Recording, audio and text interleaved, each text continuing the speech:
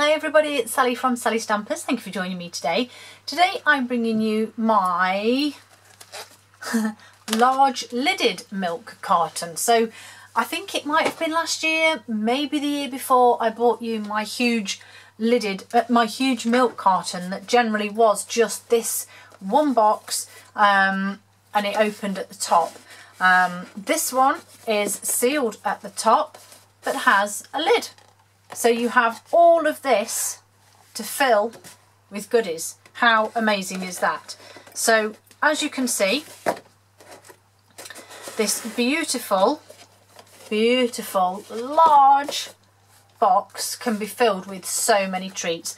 I originally made the first one to fit a medium-sized Yankee Candle inside. This will still house one. Um, I went more for a party theme with this one. Thought it could add a few more treats or something delicious inside. Let's get on and make it. Now, the downside to this is that you do need two sheets of 12 by 12, two sheets of A4. So it does take a lot of cardstock, but I think it's worth it because it is beautiful. So, we'll start with the base and those two pieces of 12 by 12 that are actually cut down to 9 by 9 inches. So that'll be actually 23 and a half by 23 centimetres. Bizarre, I know. So for the inches, we're simply going to score one side at 4 and 8.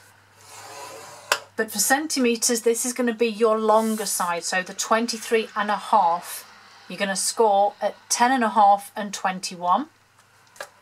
We're then going to rotate and we're going to score at three and a half, which will be nine. Okay, so we're going to do that with both pieces. So four and eight, or on the long side, if you're using centimetres, ten and a half and 21.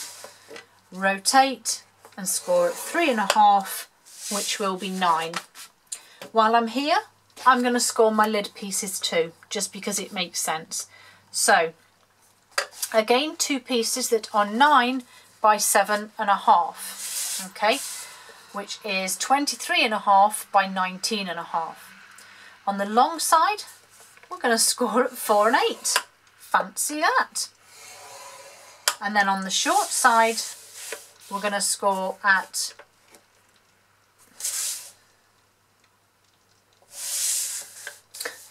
half and three, which will be one and a half and eight. So we'll do that one again. So on the long side, we're going to score at four and eight, which is ten and a half and 21. And then on the long side, sorry, the short side, we're going to score at half an inch and three inches, which is one and a half and eight. When you're doing them, make sure that your thin panel is to the same side on both pieces. Because if you end up with it that way round, it kind of doesn't work because then you have nothing to adhere these two pieces together. So make sure that on both the lid and the base, your thin panels are all on the same side. Okay, let's get that out of the way. So I'm going to make my base up first, which is this piece.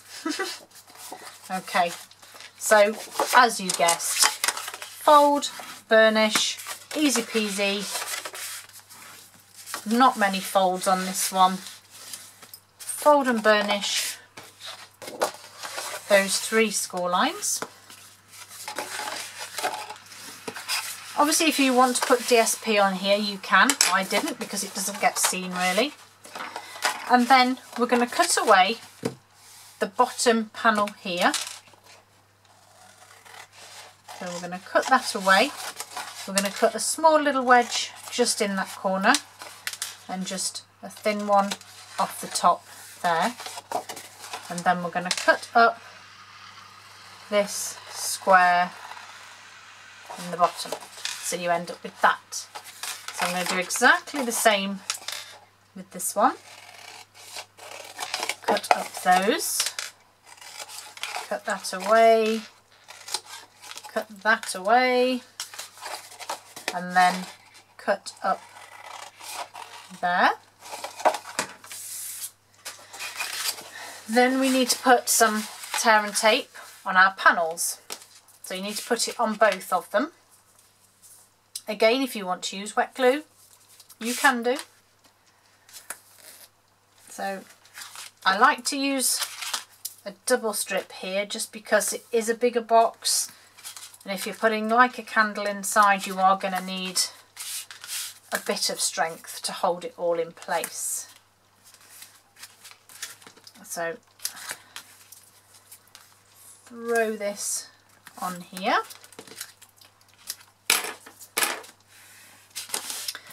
And then backing off.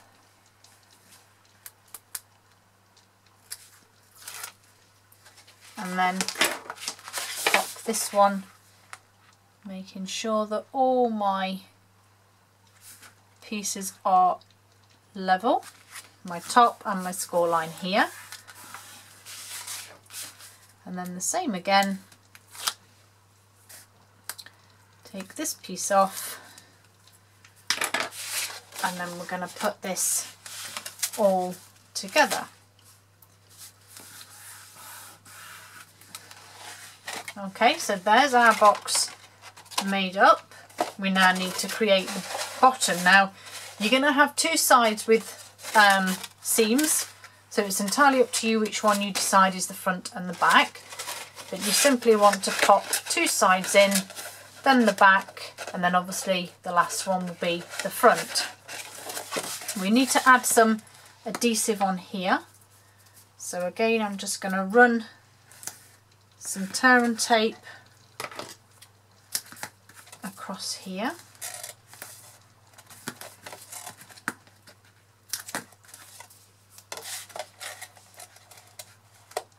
and another one across here.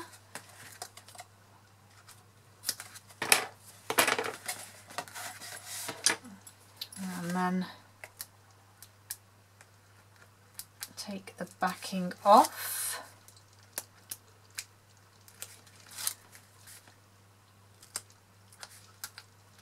Take that one off there. Oops, roly roly and then just make sure that everything's lying flush we're just going to fold that down and then I'm just going to put my hand inside and make sure that that's all stuck down. So there's our box base. Pop that to one side and we'll make up our lid. So the very, very thin is going to go across the top. So grab my bone folder. So we're going to fold and burnish again.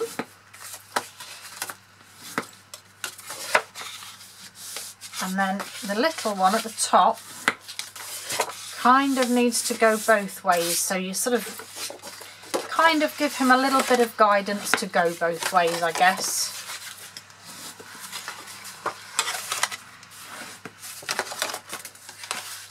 So the little one I'm going to go that way and then I'm just going to guide him back that way just a little. Okay. DSP needs to go on. So I have four panels here that are four and a quarter by three and three quarters or 10 by 11 centimetres. And we're just going to pop these on the sides on these large panels here. I'm just going to go along and do that with all four of them. So this, as I said, this is your lid. So get this so pretty DSP. And this is the birthday bonanza. Isn't it cute? Love it, love it. And I was torn. I didn't know which sides to to put on here because I like both of them. I went for balloons. I felt this made the Bermuda Bay pop a little more. So once we've got our DSP on, we need to adhere these panels together just as we did with the base. So all the way from top to bottom and then again all the way top to bottom. Do the same on this one.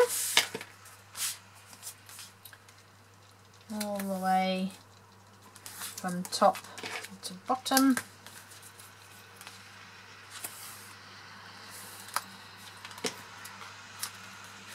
Okay. Then you need to cut here from the corner to the top of the very small square that's at the top here. Okay, then you need to grab your ruler and your uh, scoring tool and on the outside, the opposite side of your adhesive, you need to mark halfway across the top. So for me, it's two inches.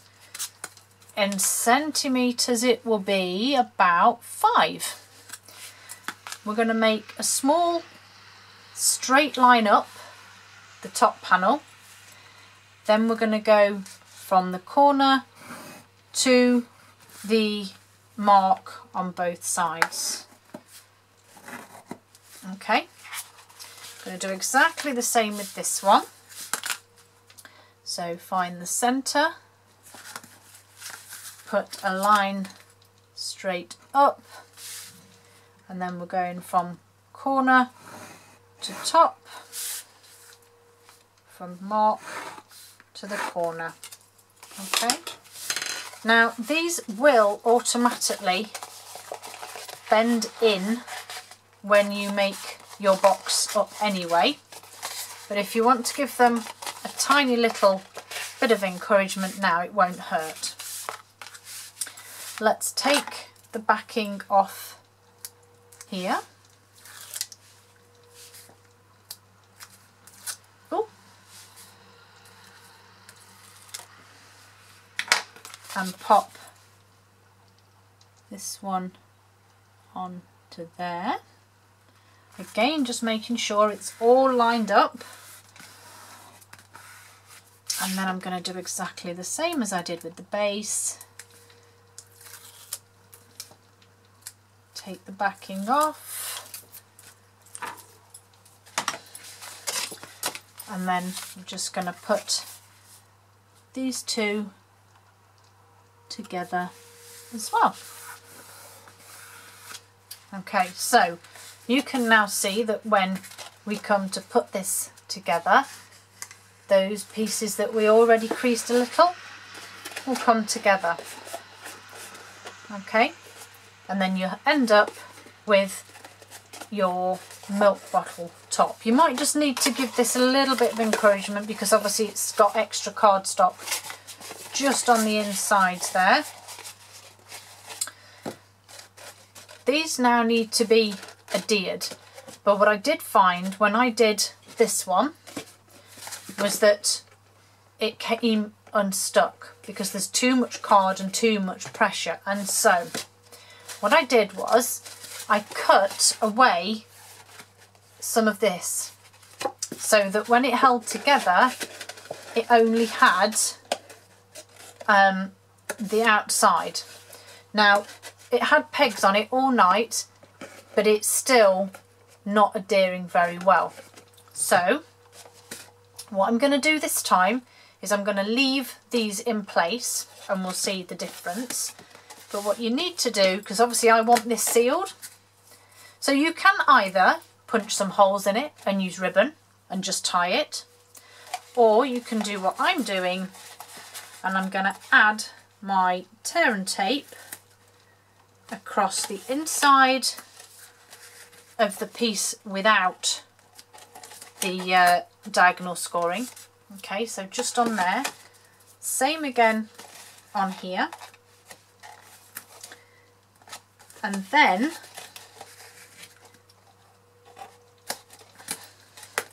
so you see that will now adhere, but it'll only adhere those two pieces together. So we need some tear and tape on here. So I'm going to pop some on this half of my lid.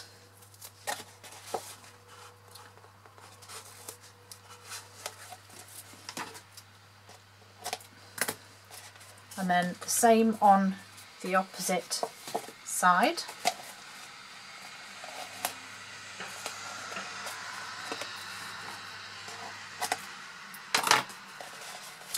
And now I want some on the inside of the opposite one. So inside of here. It's only really because there's so much thickness in there with all the card and obviously it's quite big as well. So I'm popping some in there. So we now have tear and tape on the inside of the straights, the outside opposites, and then the inside opposites. And then you need to go around and take all of the backing off. So work our way all the way round trying not to get stuck to it because that's going to be the, the tendency here.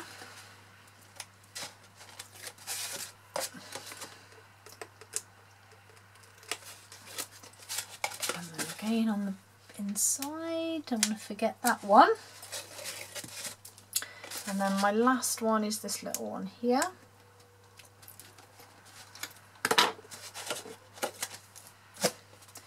And then you need to make sure when you push all this together that it all sits together equally. So you kind of have to make sure it's there your line straight at the top. And then I am going to go along with my pegs to hold it all in place because I want to decorate it. Now it does fit, it doesn't appear to fit the lid, the, the base when you first go to put it on, but that's just because there's lots to it. And it's, but I'll, trust me, if you just very gently give it a little push, uh, once it's actually on, whoops, I pushed that too far then once it's on, you don't really get that gaping. I didn't get it on this one at all. So I don't quite know why this one has done it. It's annoying. It doesn't happen to one and then you do a video and it happens. But anyway, so to decorate it, I'm using this beautiful So Sentimental bundle. I just love this. These sentiments are fabulous. Um, I've gone with Yummylicious just because, you know, I'm going to fill them with sweets for Easter or something for the kids because that would be the fun thing to do. So, Yummylicious. I have some scrap white here that I did my previous one on. So I'm just going to go with the same again there and then just clean that stamp. And then using the stitched so sweetly dies. Come on come on. These are fantastic too. I just love why is everything sticking sticking? So I've used this one the little scallopy type one for the sentiment. And then I've used this larger one to cut out a coordinating one. So I have Coastal Cabana on this one and I've got um, come on come on come on come on. Calypso Coral for that one. That was all too much. Coastal Coral Coastal Cabana Calypso Coral was just too much for my little brain then. So these fit so nicely in these die cuts. They're just so cute. So quick run through my machine with that one.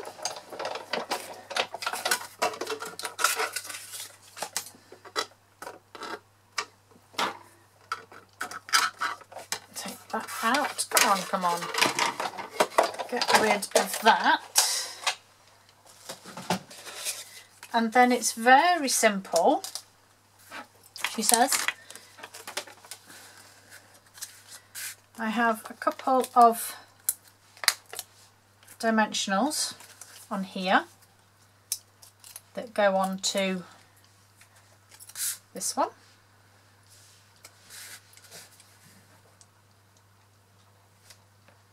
Just like that. And then I knocked my other dimensionals down the back of my table earlier, so I'm just going to cheat and use this for this one because it's still the same thing and I don't want to be wasting anything. So they're on there, backing off because they are still dimensionals even if it's just the edge.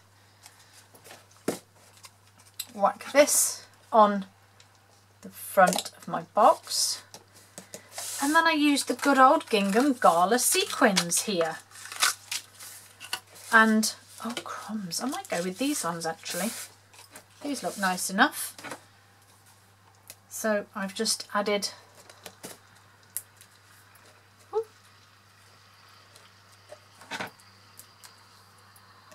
a couple there, a couple onto my lid